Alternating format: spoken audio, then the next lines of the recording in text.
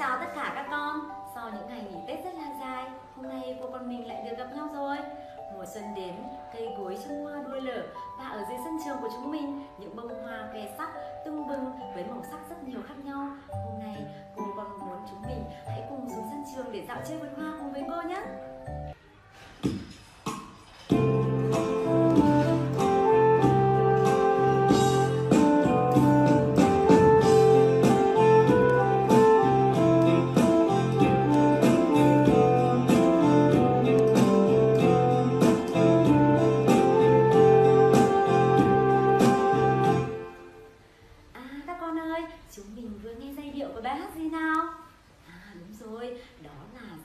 bài hát Ra chơi vườn hoa đấy. Bạn nào giỏi hơn cho cô biết bài hát Ra chơi vườn hoa do nhạc sĩ nào sáng tác nào? Đúng rồi, bài hát Ra chơi vườn hoa do nhạc sĩ Văn Tấn sáng tác đấy các con ạ.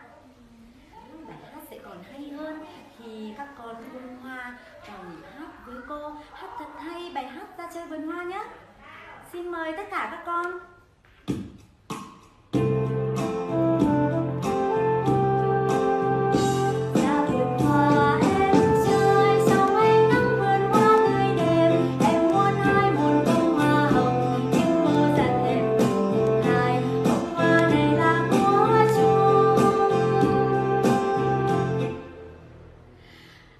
Hỏi giỏi, các con một tràng vào tay thật to nào À các con ơi, bài hát ra chơi vườn hoa nói về điều gì nhỉ?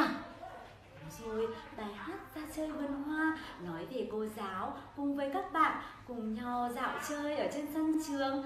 Ở đó có những bông hoa rất là đẹp và cô giáo dặn các bạn nhỏ không được hái hoa đâu các con ạ. À. À, các con ơi, vậy để những bông hoa luôn đẹp thì chúng mình phải làm gì? À đúng rồi, chúng mình phải chăm sóc, phải bảo vệ và chúng mình không được hái hoa bẻ cành đúng không nào? Và một lần nữa các con hãy hát thật hay bài hát cùng với cô nhé.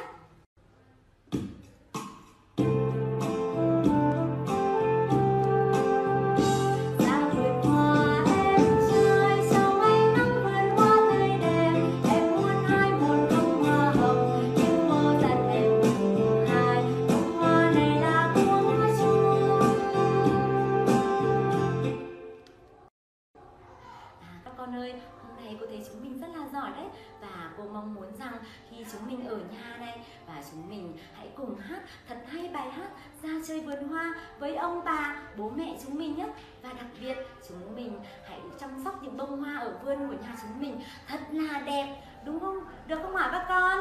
À, và bây giờ cô con mình cùng hát một lần nữa thật là hay thay cho lời chào tạm biệt ngày hôm nay nhé